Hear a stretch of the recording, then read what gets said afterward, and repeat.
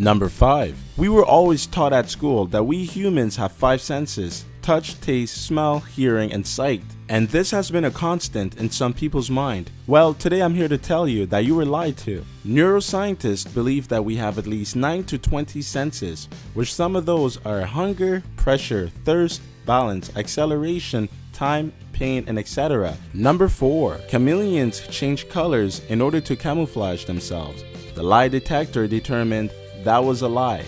Chameleons actually change colors based on the temperature levels and mating behavior. For example, they'll change from a lighter to a darker color in order to absorb more heat.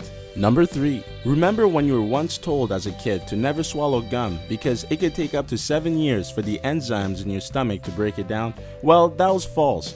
Gum doesn't actually get digested at all. Few components in gum, such as sweeteners, are broken down, but the base of gum does not. Doesn't mean that gum just lays in your stomach, it moves around in the digestive system and gets excreted.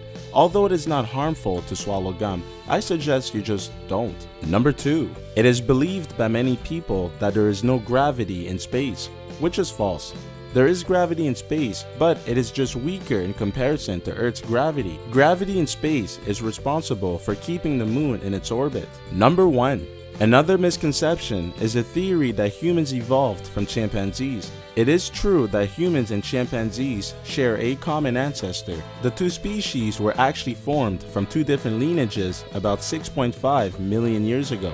We do belong in the same taxonomic family and do share a common ancestor, but we did not directly evolve from monkeys. And that's it for today's video. If you're interested in getting an intro or a cool animation done for your up and coming YouTube channel, Kenneth Moore is the man you want to go to. He's the one that actually helped us out with the intro, and he also charges a fair price. His website is in the description box down below. Go ahead and check him out.